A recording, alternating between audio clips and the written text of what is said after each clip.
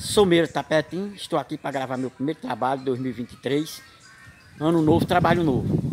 E também para desejar um feliz ano novo para todos nós. E para não ficar aqui repetindo os motos, esse primeiro moto eu vi na internet, o segundo é de Di Siqueira de São Vicente.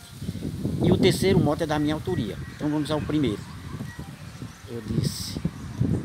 Minha mulher chegou para mim, falou: o nosso casamento está desfeito. Isso causou uma dor tão grande no meu peito que cheguei a pensar que era meu fim.